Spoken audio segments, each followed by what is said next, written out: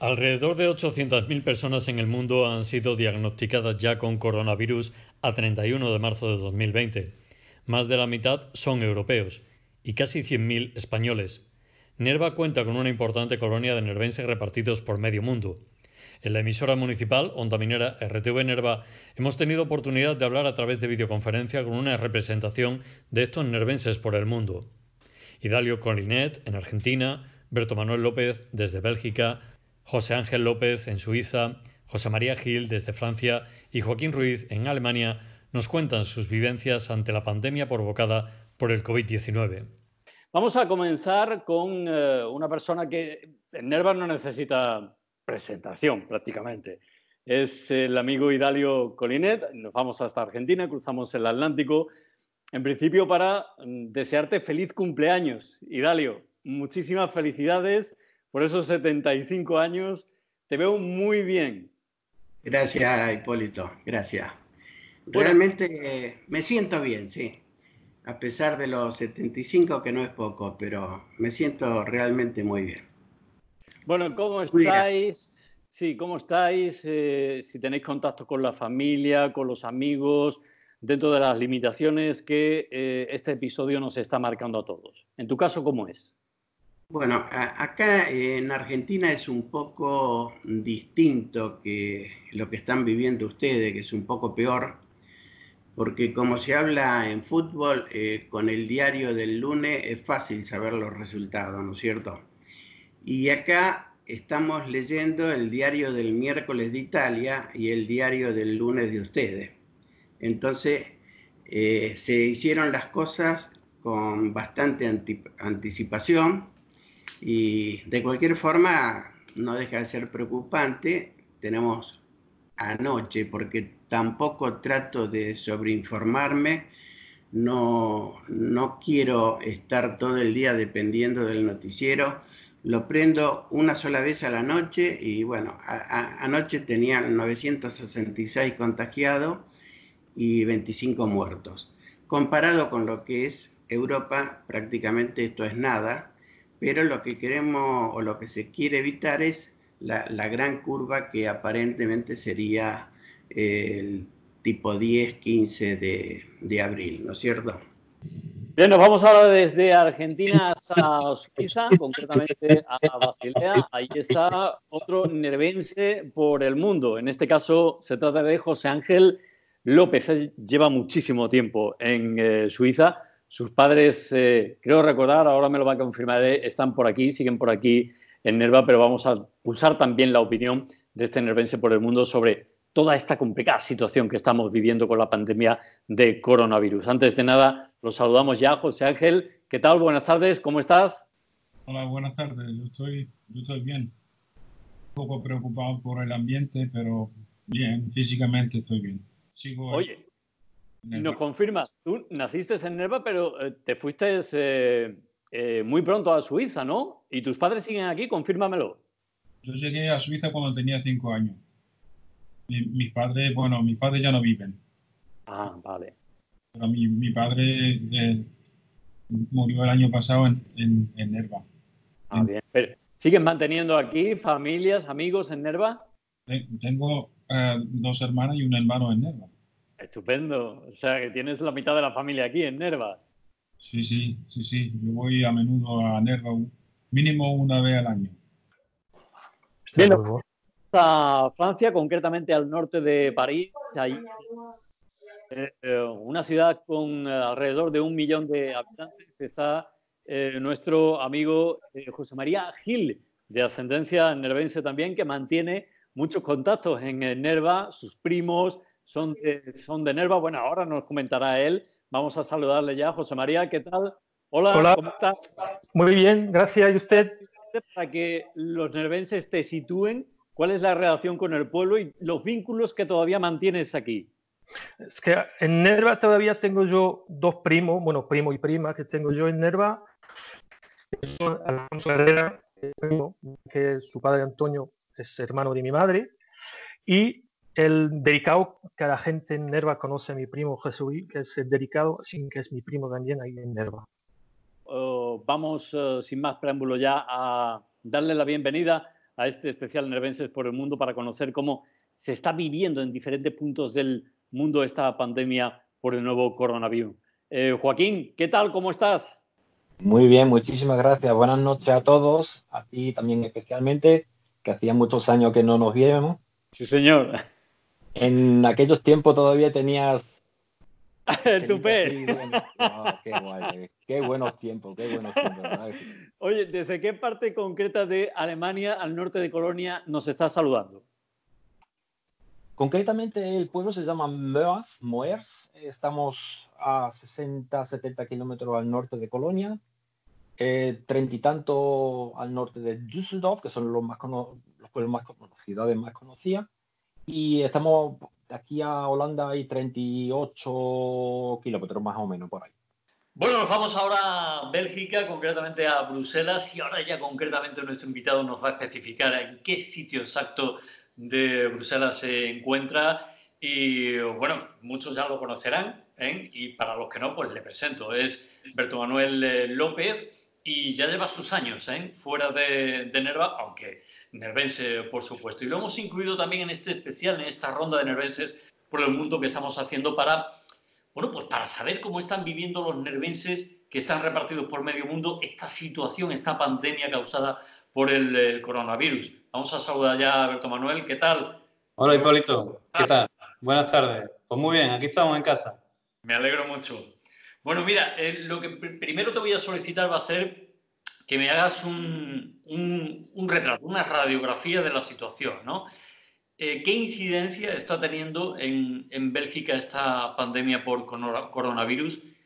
¿Y qué medidas ha adoptado el, el, gobierno o las autoridades sanitarias para intentar de contener toda esta situación?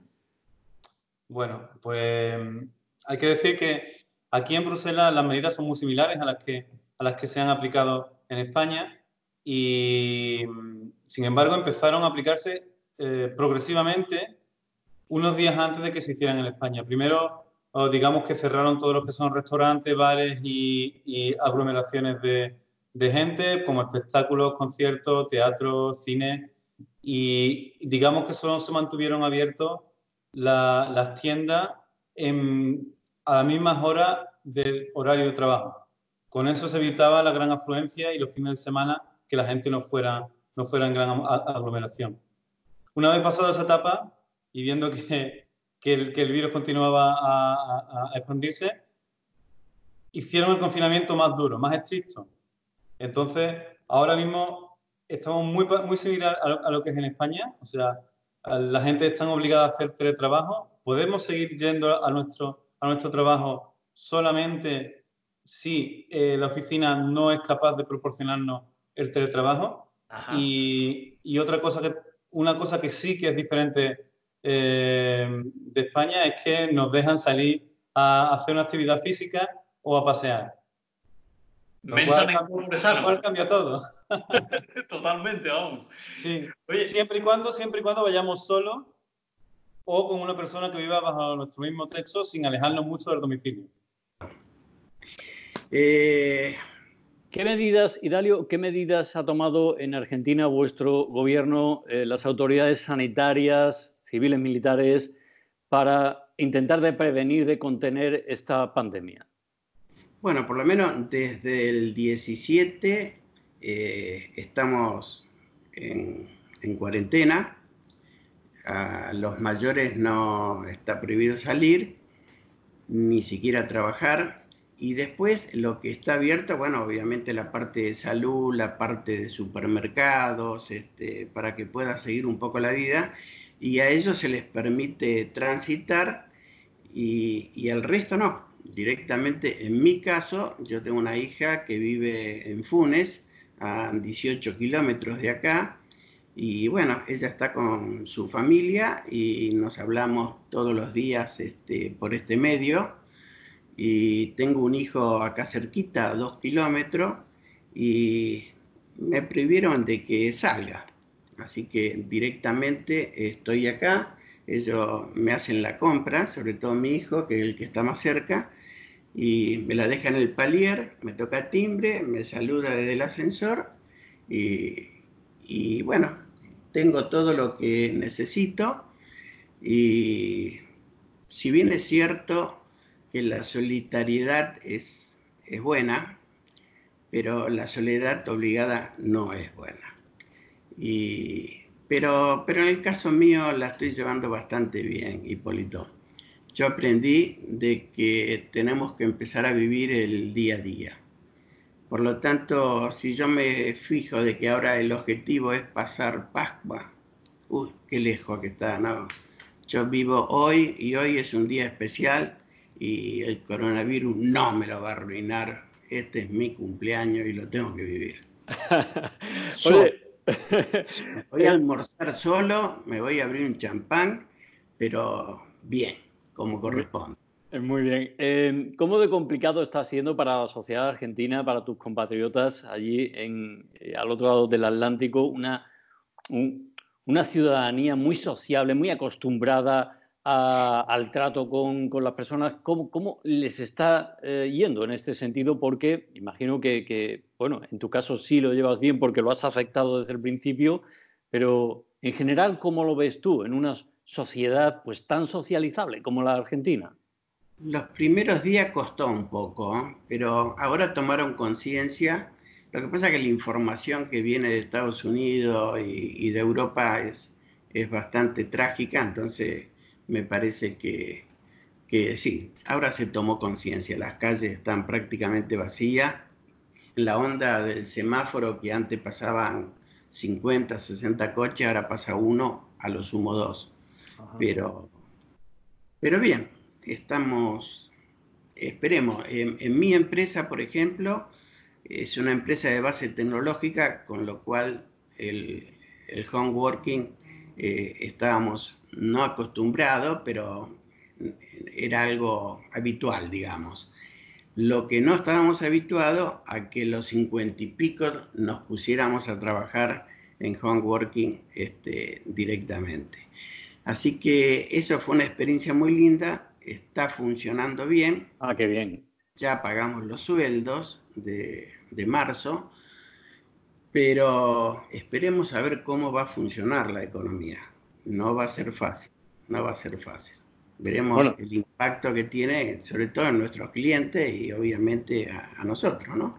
Los argentinos estáis acostumbrados a salir de esta una y mil veces, ¿no? Sí, pero esta, eh, en esta no tenemos experiencia. Cierto es. Salimos de los corralitos, de la hiperinflación, esas las hacen fenómenos, pero de esta no, no teníamos experiencia.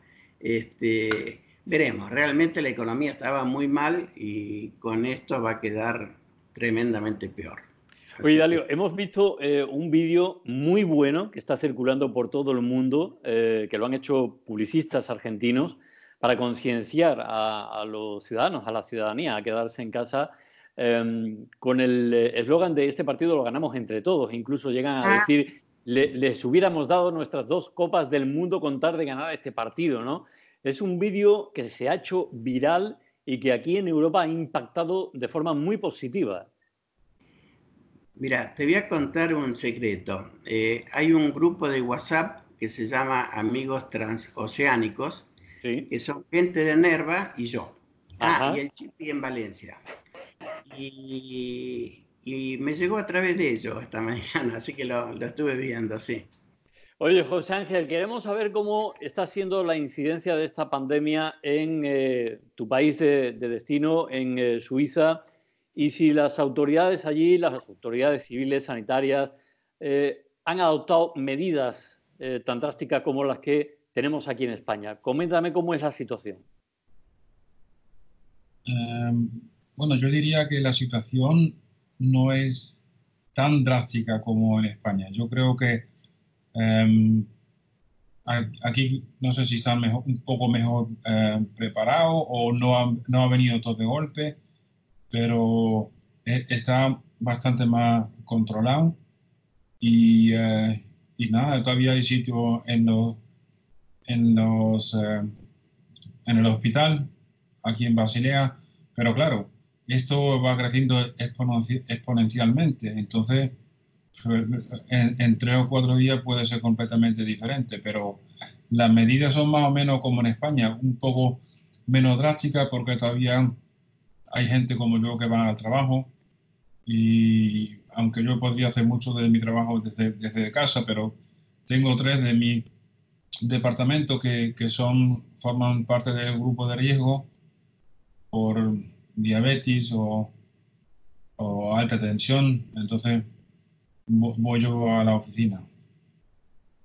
Ah, o sea que al estado de alarma que se ha llegado aquí en España, todavía ahí no habéis llegado, ¿no? Yo, yo creo que no, porque la situación no es tan grave como, como en Madrid, por ejemplo.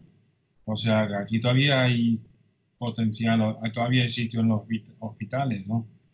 Entonces va un poco más controlado. Lo que pasa que sí, hay todas las actividades como los restaurantes, los bares, la peluquería, el gimnasio y todo eso está cerrado. Ajá. O sea, y tú vas, y tú vas al trabajo y cuando vuelves y ya te quedas en casa eh, confinado o sales. No, no, no, no salgo, no salgo. No, no, no, no se debe salir, solo si tienes que ir a, comprar, comida. ¿Y cómo se lo está tomando allí la, la población, la ciudadanía? Eh, porque hasta cierto punto te coartan en tu libertad individual, en beneficio de la de todos, bien es cierto, pero te limitan mucho los movimientos. En el caso de, tus compatriotas ahí en Suiza, ¿cómo se está llevando esta situación? Pues todo depende un poco de la edad, porque la gente joven todavía he visto yo gente que se besaban en la calle, eh, en, a donde trabajo, por ejemplo, solo se puede subir uno en el ascensor a la vez. Y, estuve el viernes pasado en, otra compañía y, había ya tres, tres subieron subieron en el ascensor y no, y no había producto para, para desinfectarse las manos. O sea, y ahora he, venido del trabajo, vengo con el tren, hay muy, muy, muy poca gente, pero lo que me preocupa un poco es, que veo demasiado viejito por ahí, todavía caminando sin prisa y eso, eso lo veo un poco raro. Pero si no, la mayor, la mayor parte de la, de la ciudadanía entiende, entiende el problema. Yo creo que yo creo que sí, yo creo que la mayoría de, de la gente se queda en casa. Hay muy poca gente por la calle. Tráfico sí, un poquito, pero claro, no, no tanto, pero no.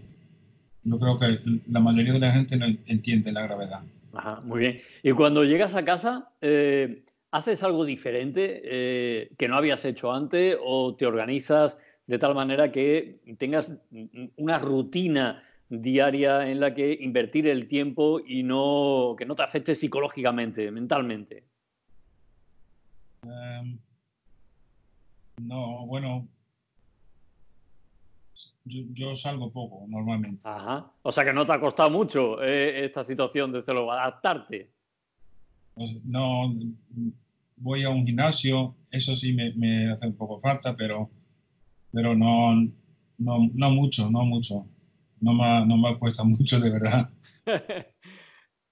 Digamos que a los hogareños, yo también soy muy hogareño, a los hogareños, mm, en fin, no nos ha costado tanto trabajo adaptarnos a esta situación como puede ser otra persona que salga, que salga, que esté acostumbrada a salir a la calle. Sí, yo, yo leo mucho, pero es un poco difícil, de verdad, de concentrarme, de, porque rápidamente eh, quiero saber qué está pasando aquí, eh, cuánta gente van enfermando. Eh, entonces, sí, de todas formas está uno preocupado y no. Y hoy en día por WhatsApp, por Facebook, pues la gente te manda el mensaje desde Nerva, desde, desde todo el mundo, ¿no? Entonces, eh, es difícil distanciarse de, la situación. No, no, por estar en casa, yo vivo solo, eh, estoy completamente isolado y puedo empezar a soñar, ¿no? Ajá, ajá. Es difícil. Muy bien, bueno, lo que quiero que me cuentes ahora, que me hagas un poco de corresponsal, para que me comentes en Francia cuál está siendo la incidencia de esta pandemia por el nuevo coronavirus y qué medidas extraordinarias ha decretado vuestro gobierno, las autoridades sanitarias, para, eh, bueno, pues mantener o contener la situación. ¿Cómo, cómo está la situación? Pues aquí la situación desde el día 16 de marzo estamos todos en cuarentena.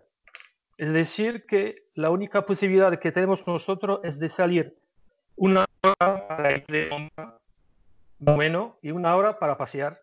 Rellenando tenemos nosotros un certificado que tenemos que llenar con la hora de salida. Y esa, este certificado tenemos que estar cerca de casa a menos de un kilómetro si tenemos que pasear, por ejemplo, la mascota. Y tenemos que tardar una hora si tenemos que ir de compra y luego a regresar en casa. ¿Cómo os está afectando a vosotros mm, profesionalmente, familiarmente, personalmente esta situación? ¿Cómo la estáis viviendo? Yo vivo aquí con mi señora. Ella puede trabajar con el Internet, con todos los medios de comunicación que tenemos. Ella puede trabajar sin problema quedándose en casa. Luego tengo yo dos hijos, Gabriela y Héctor, que hacen las tareas por el Internet igual, tienen contacto con los profesores, pero siempre se quedan en casa y salen muy poco. Yo con el trabajo que tengo no puedo en absoluto trabajar, es decir, que desde el día 16 de marzo estoy en casa y no puedo trabajar en absoluto. ¿Cómo se lo están tomando tus compatriotas? Porque los franceses, al igual que los españoles, los italianos, somos, somos una ciudadanía muy sociable, ¿no? Acostumbrada a, bueno, pues a mantener relaciones sociales. ¿Cómo se lo están tomando ahí? Pues aquí estamos mirando muy de cerca a Italia, a Alemania, los países que son fronterizos con nosotros, porque una parte llama la atención el hecho de que Alemania tenga muy, poco, muy poca gente contaminada, digamos, mientras que en el sur de España, Italia, el eh, sur de Francia, Italia y España son dos países donde hay mucha gente contaminada y hay mucho muerto. Es decir, que Francia está mirando a ver cómo y por qué de un lado tenemos muy poca eh, muy poco muerto y otro lado hay mucho. Es decir, que hay un, miedo, la gente se interroga qué va a pasar. Eh, no saben si el hecho de que haya más muertos en España, en Italia, es el confinamiento se va, la cuarentena se va a extender. Hay muchas preguntas así que, que, la gente se queda un poco con miedo porque no saben lo que va a ocurrir. no, sé si me, no sé si me entiendes, es que la gente tiene información, miran los medios de comunicación, se queda un poco, se interroga, se interroga y no sabe lo que va a pasar, sí, porque aquí todavía tenemos nosotros la cuarentena hasta el día 15 de abril. No sé si España es más o menos igual. El día 11. El día Nosotros hasta el día 15. Pero Macron ha dejado ahí en el viento diciendo que quizá tengamos que alargar ese tiempo de, de, estancia en casa, de, de, cuarentena, ¿no? no sé si me entiende. Sí, ¿y, y, cómo lleváis este tiempo de, cuarentena en casa? ¿Cómo, ¿Cómo matáis el tiempo o cómo invertís el tiempo? ¿Qué, qué es lo que hacéis? Claro, entonces yo me levanto por la mañana, los niños, las tareas, yo me ocupo de ellos, a ver lo que tienen que hacer. Mi señora se pone, trabaja, estoy con ellos, la ayudo. Luego yo tengo la tarea de, hacer la comida. Yo preparo la comida del mediodía. Por la tarde, a ver si los niños, un poco de tarea y luego un poco de juego, porque también hay que un poco cortar con, la, con las tareas del colegio. Y luego hacen, después del, de la merienda hacen lo que le dan, si quieren jugar por internet, si quieren ir a hacer, por ejemplo, mi hijo está jugando ahí en la PlayStation. Bueno, luego cada uno hace lo que quiere cuando llega la tarde. Y yo por la tarde preparo la merienda y luego preparando tranquilamente aquí la cena antes de que empiece el, el fin de la, del día. Bueno, quiero que me hagas ahora de corresponsal y me comentes cuál está siendo la incidencia de esta pandemia por coronavirus en Alemania ¿Y qué medidas excepcionales, si las ha tomado el gobierno eh, alemán eh, o las autoridades sanitarias para intentar contener todo esto? Yo sigo también las informaciones de España y porque aquí en casa prácticamente vemos casi solo la televisión española, Telecinco y todo eso. Eh, yo estoy muy conectado con Facebook y Nervense por el Mundo Em, y lo comparo, ¿no? Nosotros aquí, digamos, hemos empezado también tarde a reaccionar, pero igualmente, y no sé por qué, no se extiende tanto o tan rápido, digamos, el virus eh, como en España. Yo, a mi parecer, es la forma de vivir, la forma de tratarse la gente, digamos, aquí.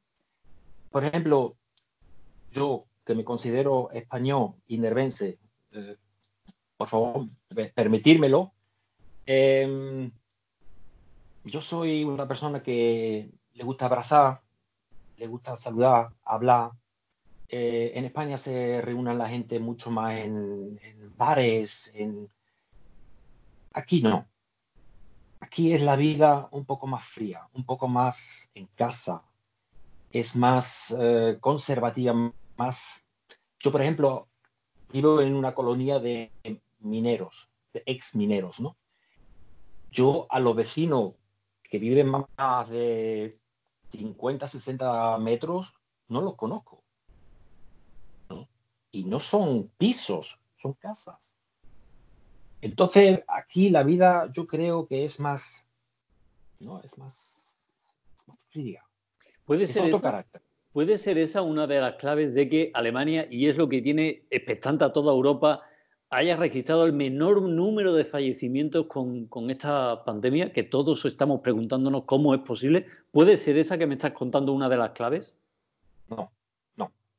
Yo eh, especialmente tengo buen contacto Em, con el profesor Jan Boer, que es el, jefe de la, no sé si lo digo bien en castellano, bacteriología tal y cual, de del Hospital Universitario de es uno de los más conocidos y importantes aquí de Alemania. Es un, un amiguete que le escribí antes de ayer porque mi madre me preguntó lo mismo y le digo, pues mira, tengo ese contacto, lo voy a preguntar y él me contestó que no, que no se sabía todavía si era por el equipamiento de, digamos, de, cosas en el hospital y tal y cual, pero que ellos tampoco lo sabían todavía.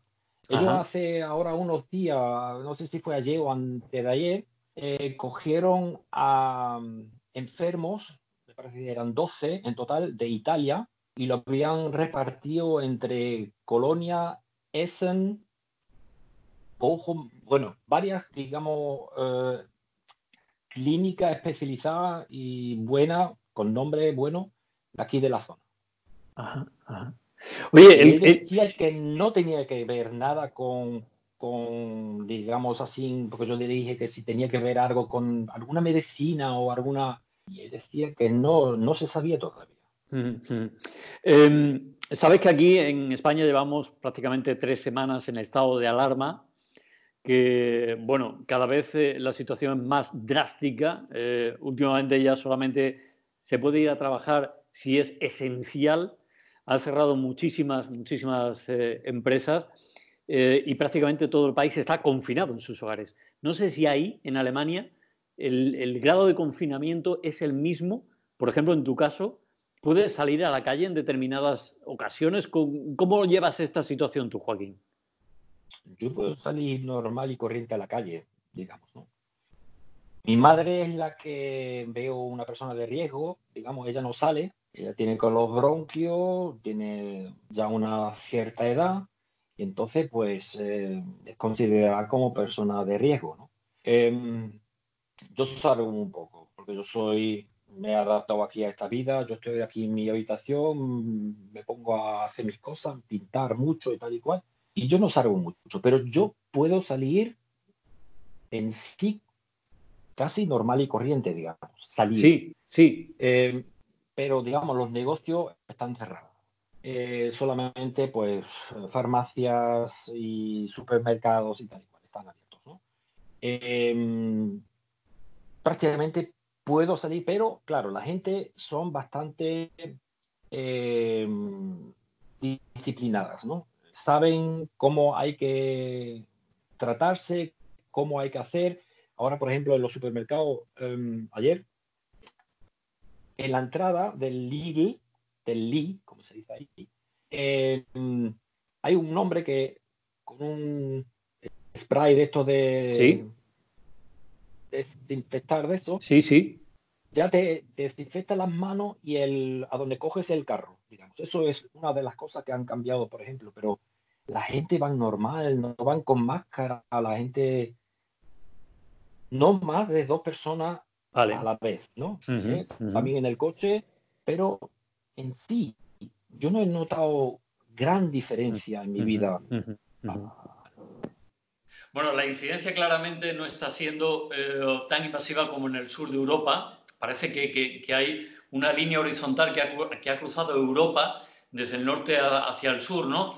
Pero sí que estáis hoy en estado de shock con, con ese fallecimiento del crío, de, de, un crío de apenas 12 años que ha fallecido y que todo el mundo nos preguntamos cómo puede ser cuando esta eh, mm, bueno, pandemia estaba afectando sobre todo a la gente mayor y que ahora de repente un crío de apenas 12 años fallezca, ¿no? ¿Cómo es esto posible?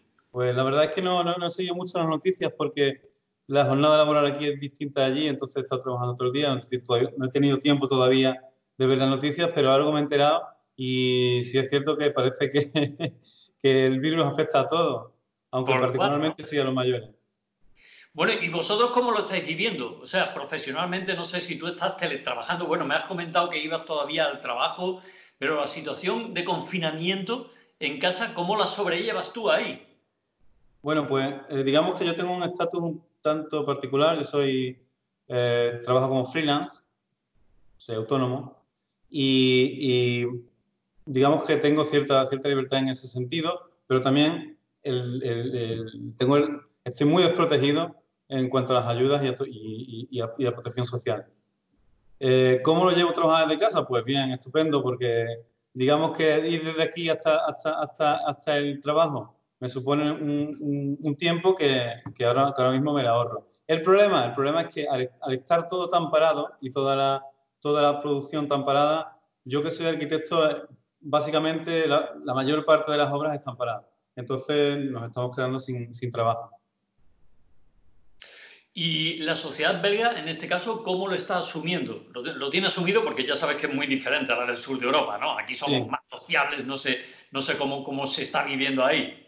Bueno, pues ha, ha, habido un problema y es que justo cuando nos han confinado, en Bélgica es un país en el que llueve mucho, y justo cuando nos han confinado, ha salido el buen tiempo. Entonces llevamos dos, días, dos semanas de buen tiempo que no, no ha llovido ni un solo día y justo ahora nos encierran. Entonces, claro, ¿qué pasa? Que hay problemas porque la gente en cuanto hace buen tiempo va al parque. Y eso sí que ha generado cierta polémica. Mm. Aparte de eso, yo creo que la gente se, se comporta bien. Las calles, yo que suelo salir a hacer deporte, sobre todo en bici, eh, se ve que, que, hay poca gente por la calle, que la gente en general lo respeta, salvo en los parques donde ya están tomando más medidas e intentando controlar que, que no se hagan aglomeraciones. Ajá. Bueno, y en casa ahí, ¿cómo os organizáis, tu pareja y, tú? ¿Cómo es? Imagino que os tendréis que marcar un ritmo, unos ciertos hábitos, ¿no? Para no volverse loco, ¿no?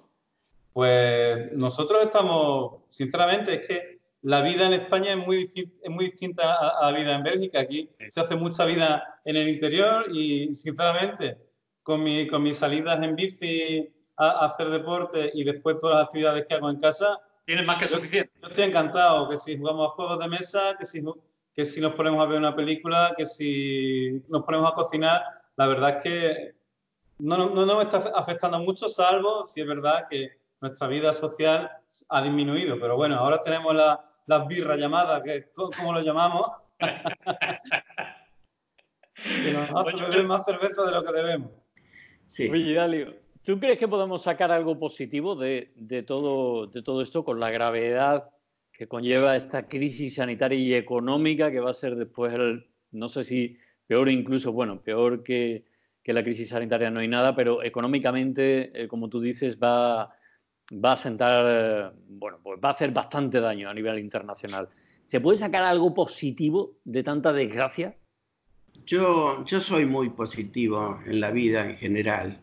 Eh, y lo que tengo en claro, que este problema lo originaron los chinos, pero en el alfabeto chino la palabra este, crisis tiene dos símbolos, el peligro y la oportunidad. Evidentemente estamos en peligro. Lo que tenemos que ser inteligentes para buscar la oportunidad y aprovecharla. Y para buscar una buena oportunidad es, deberíamos capitalizarla para hacer un mundo mejor que, seamos más sociables y, que cuidemos a la naturaleza mucho más.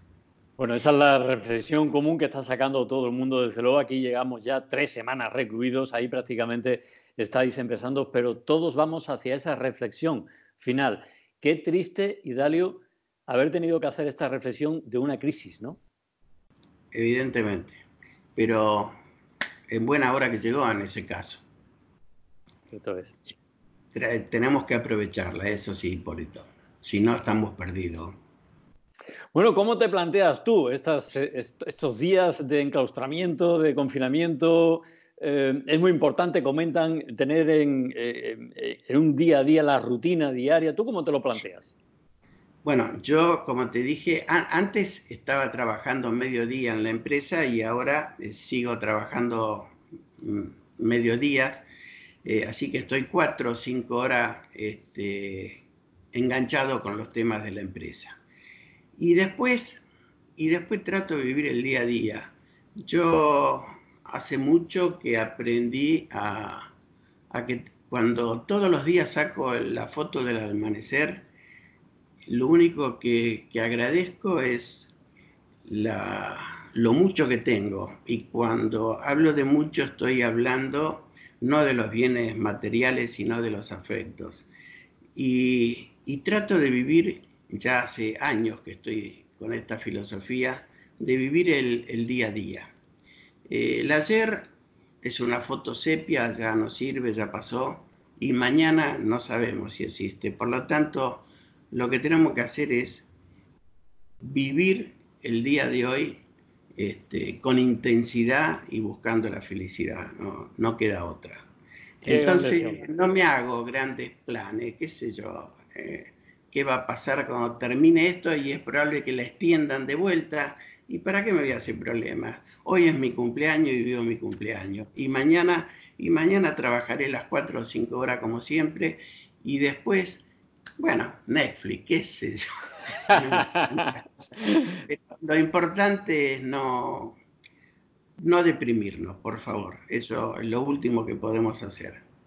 Oye, em, el resto de compañeros em, coinciden en que de esta crisis sanitaria saldremos más fortalecidos y con una nueva visión del mundo, incluso también eh, personal. ¿Tú crees también que de esto se puede sacar algo positivo? Eh, es una pregunta muy difícil, porque es que hay, muchas muchas incógnitas.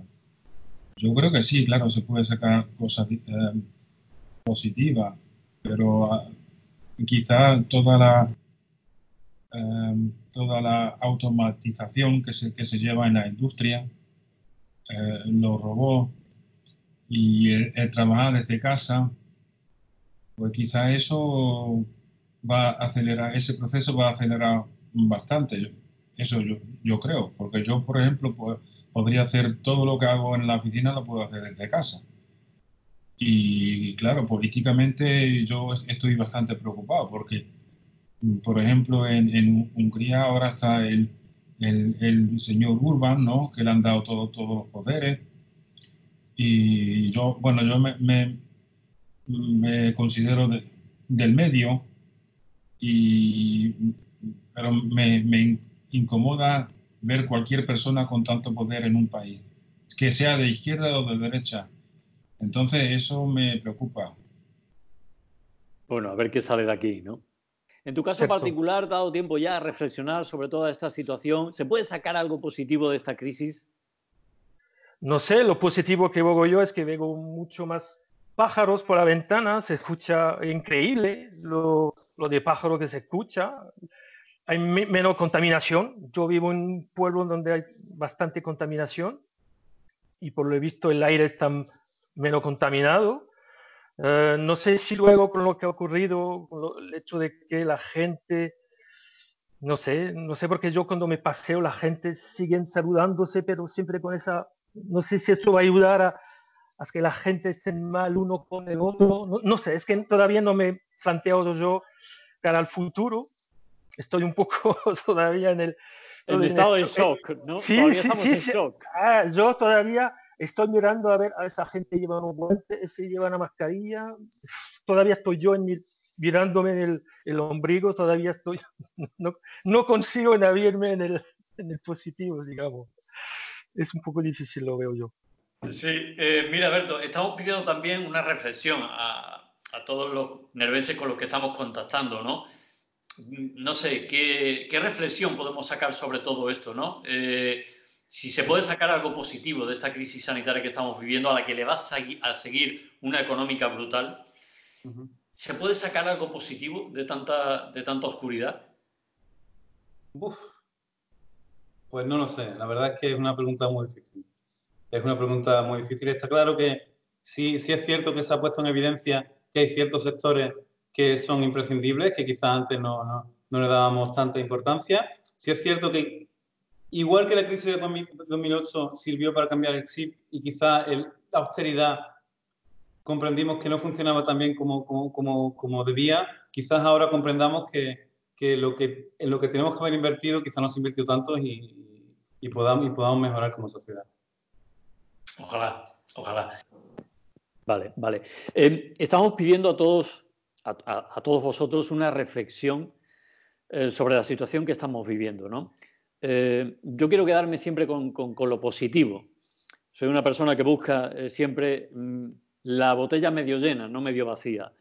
A ti toda esta situación, ¿qué reflexión te, hace llegar? ¿Podemos sacar algo positivo de, esta crisis sanitaria y la económica que va a venir detrás?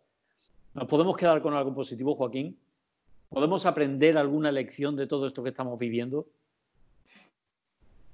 yo creo que el ser humano es un, se cree muy inteligente, pero yo creo que somos, eh, como yo siempre he dicho, vivimos de la química que funciona en la cabeza, ¿no? Y ahora en este momento somos muy solidarios, por ejemplo, ¿no? Me encanta lo que yo escucho, que es, gente donan esto y dan esto y mandan y ahora no importa si somos catalanes, andaluces, gallegos, y eso a mí, que vivo en el exterior y he nacido en el exterior, pero amo España, amo Nerva, amo toda esa unidad y me duele muchísimo cuando se habla de, Barcelona, los catalanes, esto, los madrileños, lo otro. y ahora nos estamos dando cuenta realmente lo que es importante de ayudarse uno al otro, esa, esa unidad que se ha creado ahí. Y yo creo que después de esto se mantendrá algo, pero después, como, como ser humano que somos, volveremos a caer en la misma piedra. Sí. Somos, somos personas, somos seres humanos y eso lo, lo llevamos dentro, que caemos siempre y siempre en la misma trampa, aunque sabemos que ahí hay, ahí vamos. Sí, sí. Muy bien, bueno, pues antes de despedirnos, eh, quiero que le mandes un, saludo, un, consejo, una sugerencia, lo que tú creas, el mensaje que tú creas a todos los nervenses que te puedan estar viendo, a los que te van a ver en el exterior. Y por favor, antes de terminar también, mándale un beso muy fuerte a tu madre. ¿eh? Nos acordamos mucho de ella y de lo que habéis pasado. Y, quiero que os recuperéis pues cuanto antes, ¿de acuerdo? Joaquín, te escuchan los, los nervenses repartidos por todo el mundo, incluido aquí en Nerva. Bueno, espérate un momentito, por favor, para, para aquel que no sepa, su madre es Antoñita Espinosa. ¿eh? Con esto ya lo digo todo, ¿de acuerdo? es difícil de, de, de, hacerse un nombre propio siendo el hijo de Antonio Espinosa. ¿no? vamos a terminar con un mensaje. De conocido, ¿no? El mensaje es que os mando un beso y un saludo muy, muy fuerte y muy, muy grande de todo corazón.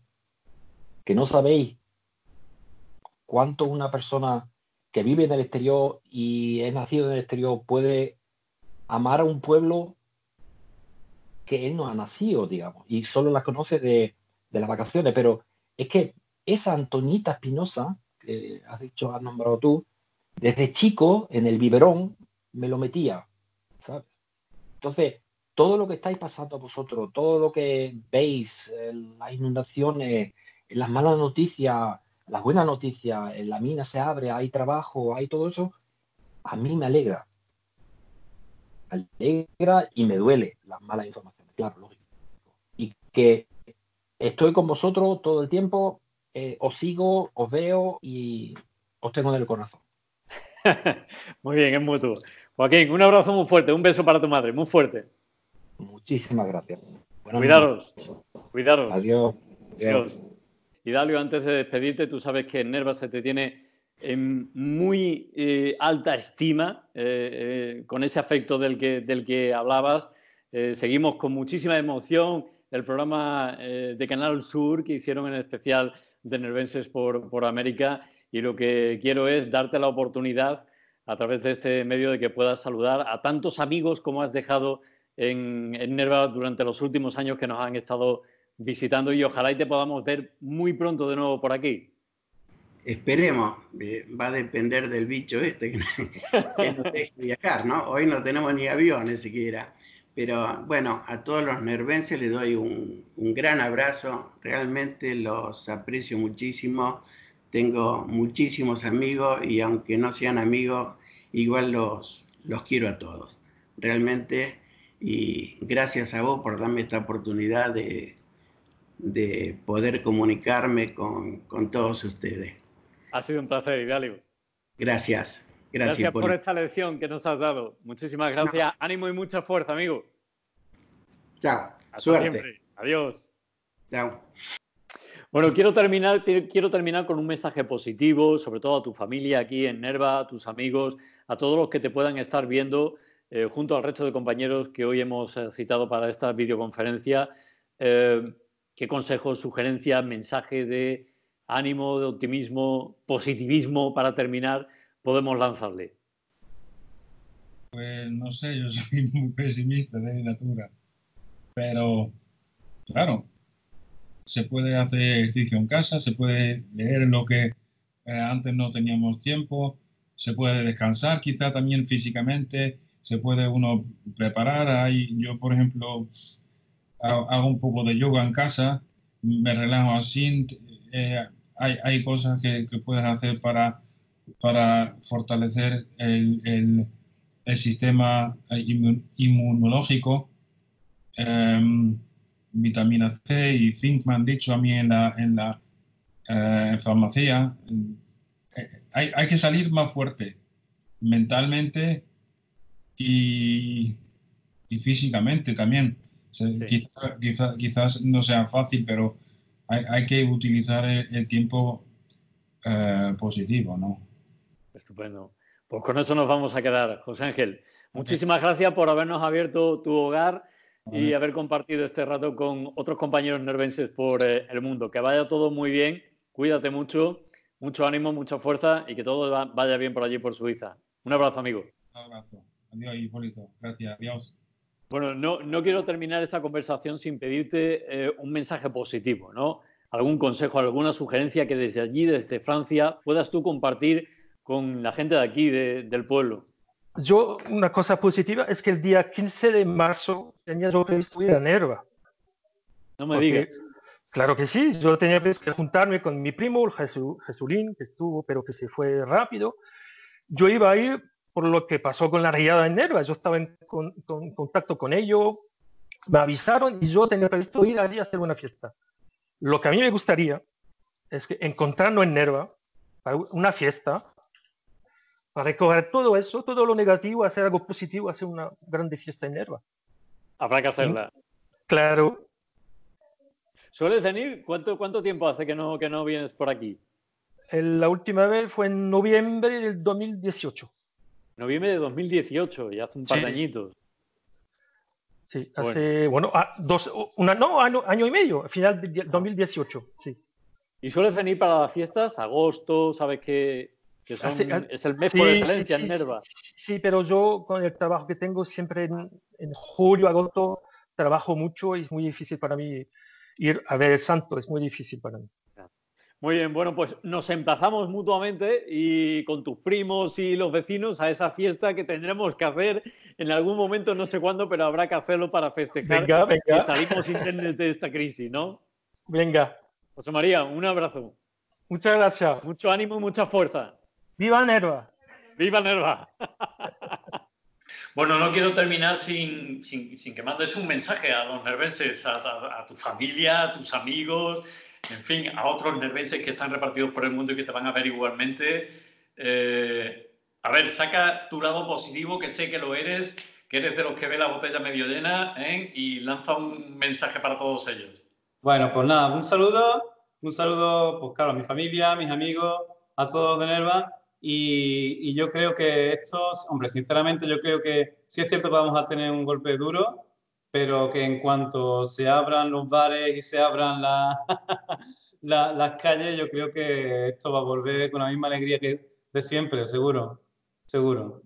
Estupendo, muy bien. Un fuerte abrazo, amigo. Muchísimo, Igualmente. muchísimo ánimo. Muchas gracias, Alberto. Gracias. Casos como estos de nervenses repartidos por el mundo o como los afincados en tierras catalanes iremos dando a conocer en nuestra emisora municipal, Onda Minera RTV Nerva, mientras se mantenga el estado de alarma provocada por la pandemia de coronavirus.